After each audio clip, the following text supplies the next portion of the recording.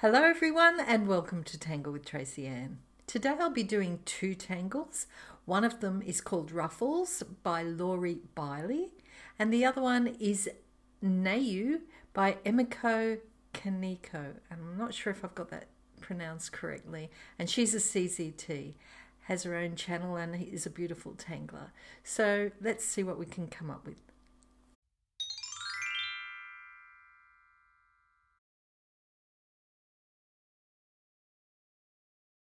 I'm going to start off with a 3.5 inch square tile, a pencil tortillon and a Micron 01.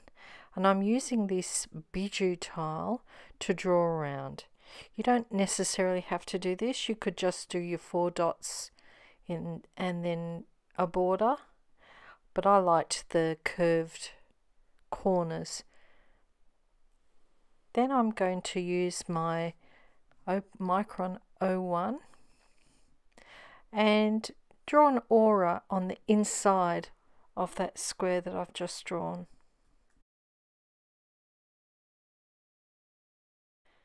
I'm adding some short dashes, looks a little bit like stitching around the edges.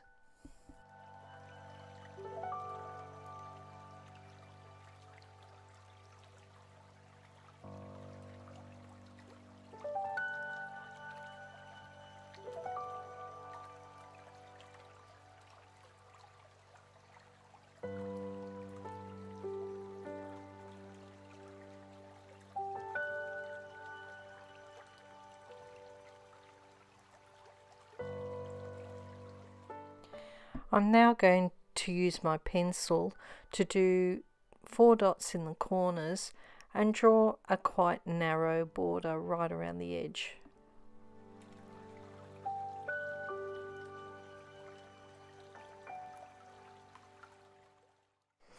Using my Micron 01, I'm going to draw four seed shapes right in the center on each side. The next step is very similar to Way-Bop, but instead of joining the two seeds, I'm going to leave a little gap there and just join one and do the same then go all the way around. Turn the tile and this time it goes from the edge of the other lines. So it's kind of twisting around each other.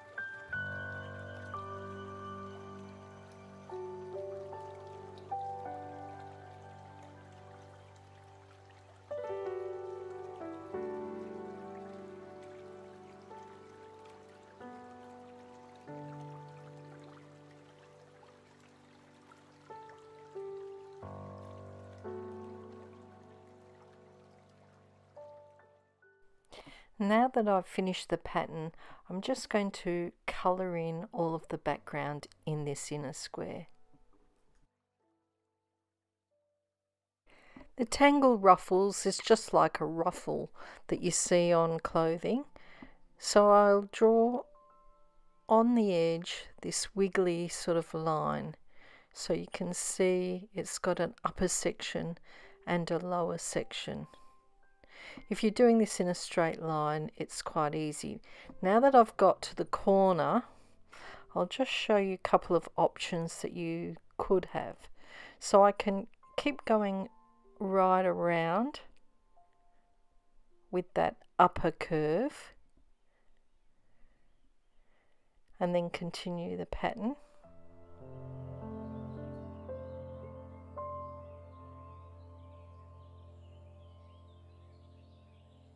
Another option is to do the curl on the underside when you get to the corner. So it just depends where your uh, actual lines are going when you get to that corner. So I'll just very quickly fill in these sections and I'll show you a little bit more in detail when I do my actual bigger tile.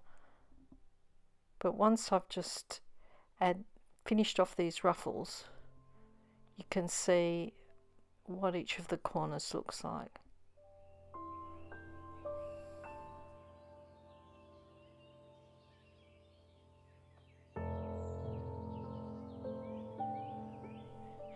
This sample's a bit rough, but you get the idea. It can face outwards or inwards.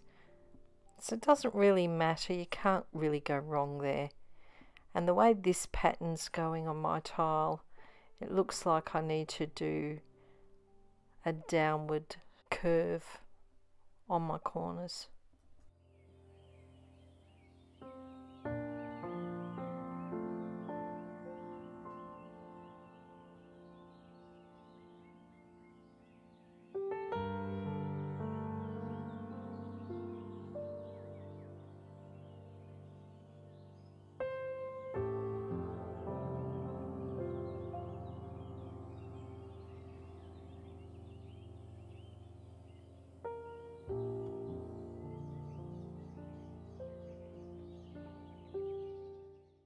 So if this was fabric, it'd look a little bit pleated. So I'm starting off with those bottom curves and just drawing a line towards that stitching. And as I get to the corners, I'm going to slope the lines a little bit. Bring each line from the outer edge of each one of those curves.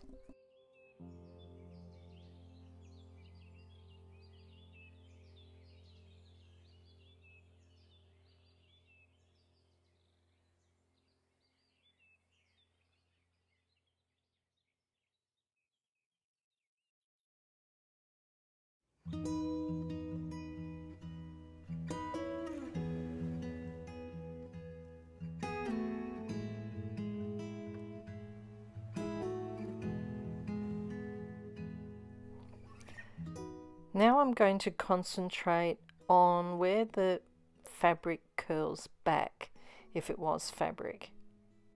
Again, I'm going from the outer edge of each one of those curves, but this time taking it from the top edge.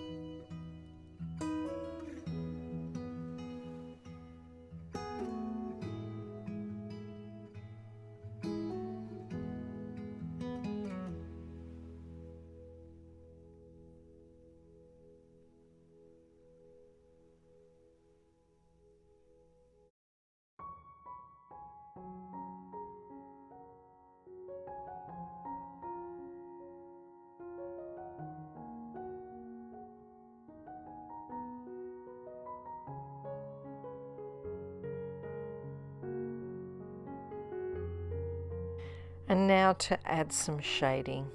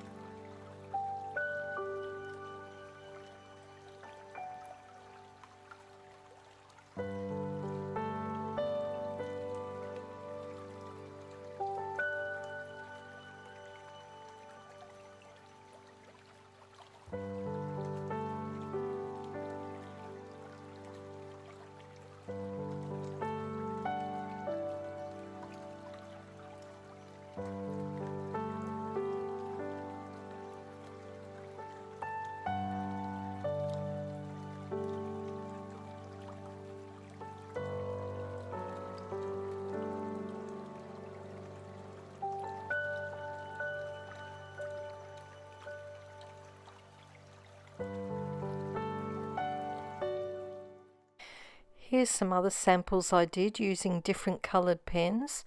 I used brown in the background and white gel pen for the frill. And in this one I used a blue pen.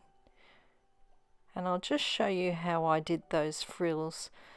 So I started off with white gel pen, colour it with white charcoal pencil, and just put a bit of graphite in the folds in the background.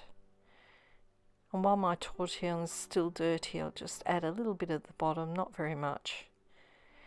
Now I could just leave this all white if you want just it has a sheer look, a little bit like chiffon.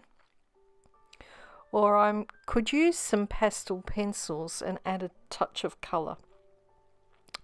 I've chosen this blue pastel pencil and I'm just adding a tiny little bit it's fairly blunt. I find these particular pencils hard to sharpen.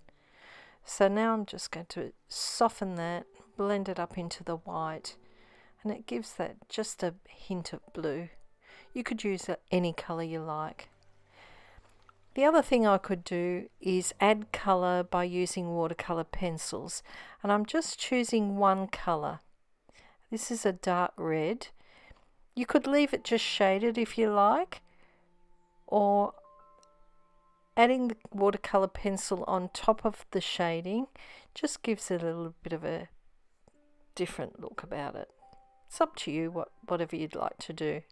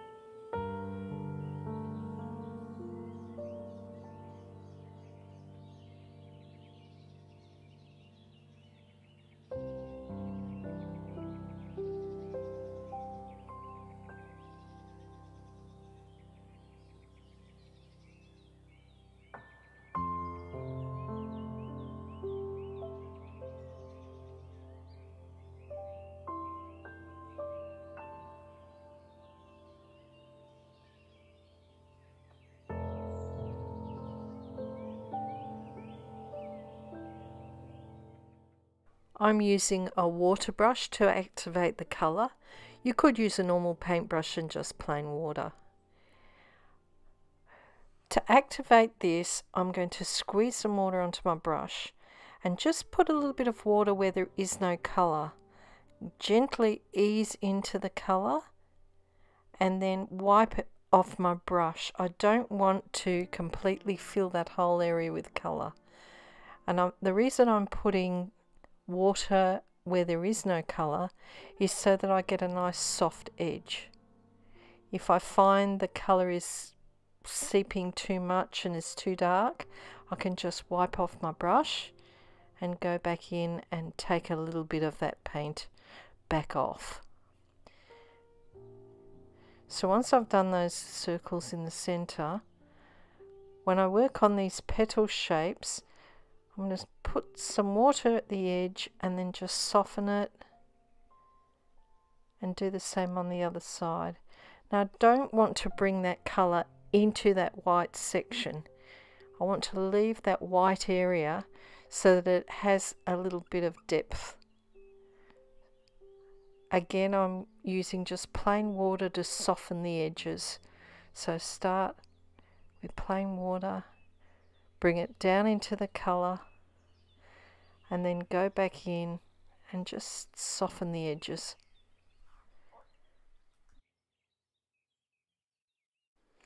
If you accidentally go over the edges, you can go back in with your paintbrush and clean water and that will lift the pigment back off the page.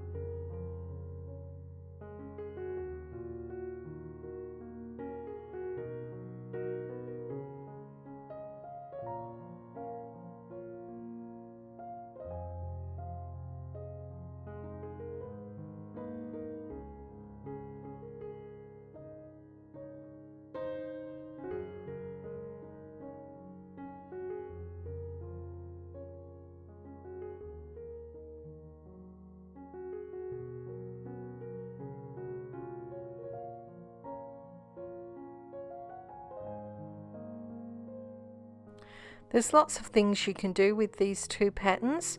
So here are some samples of things that I've done using different colours and different shapes, different pens, different backgrounds.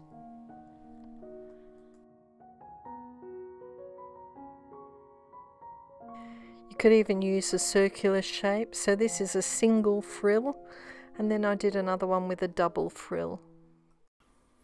I hope you enjoyed that video. If you did, please give it a thumbs up. If you haven't already subscribed to my YouTube channel, do that so that you don't miss out on future videos. Thank you for watching and until next week, stay safe and bye for now. If you'd like to see more of my videos, head over to my YouTube channel or there are a couple of links here on the screen and there's the subscribe button.